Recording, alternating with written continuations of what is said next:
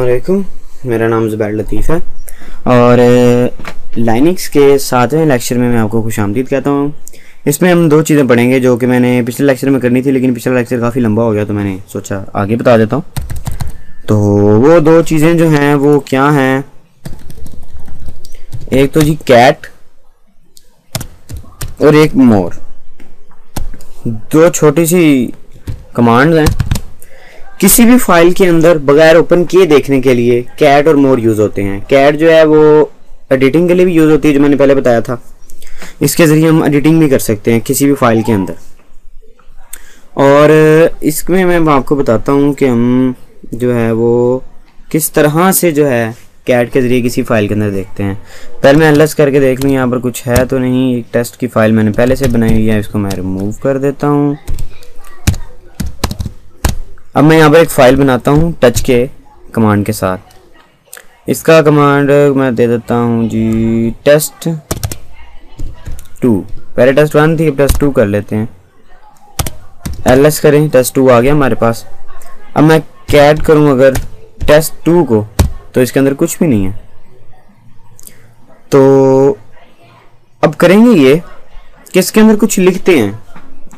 V I editor V M editor के ज़रिए, मैं वी एम एडिटर के ज़रिए इसके अंदर कुछ लिख देता हूँ। प्लस टू के अंदर इंसर्ट मोड में जाके। मैंने इसके अंदर कुछ कीज़ एंटर कर दी। इसको मैं सेव करता हूँ फ़ाइल को। अब मैं दोबारा से जो है वो कैट की कमांड देता हूँ और टेस्ट को देखता हूँ।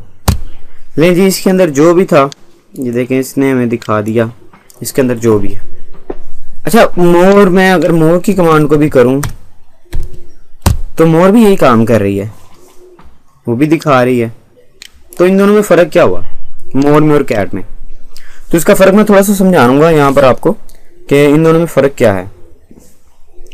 तो इन दोनों में फ़र्क आपको बताता हूँ। मैं एक फ़ाइल है, जो कि मैं कैड करूँ अगर ई के अंदर स्किड और स्किड डॉट कॉन इसे मैं कैड करूँ तो ये बहुत बड़ी और काफ़ी लंबी मतलब कि फ़ाइल है, ठीक है?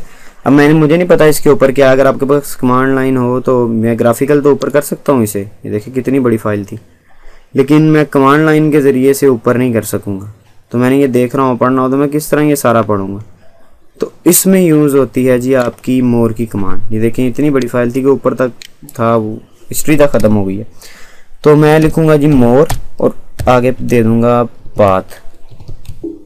एंटर देखिए पहले इसने मुझे सिर्फ़ उतनी लाइन दिखाई जितनी पेज पर आती थी।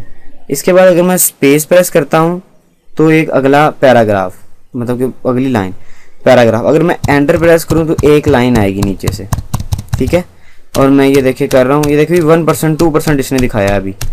काफ़ी बड़ी फ़ाइल है और काफ़ी पेजेस हैं इसके अंदर। मैं आपको अगर ओपन करके दिखाऊँ, ये फ़ाइल वी एम एडिटर के ज़रिए।